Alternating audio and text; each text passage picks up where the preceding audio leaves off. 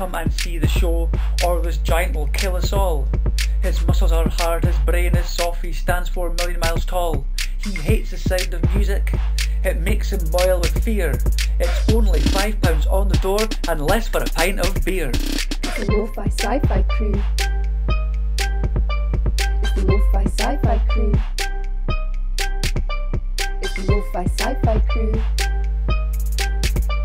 It's the Lo-Fi Sci-Fi Gummy Bacco, he'll be there, strung with all his might, with his brain tickling songsmanship, it's an absolute delight. Adam from Randolph's Leap will entertain us all. Upon the stage stands this brave sage, he'll make that giant fall. Haystack Monolith will strut his stuff and sing a song or two. With a yellow arm and a cheap guitar as a lo-fi sci-fi crew. It's a Lo-Fi Sci-Fi Crew. It's a Lo-Fi Sci-Fi Crew. The Lo-Fi Sci-Fi Crew. It's the Lo-Fi Sci-Fi Crew.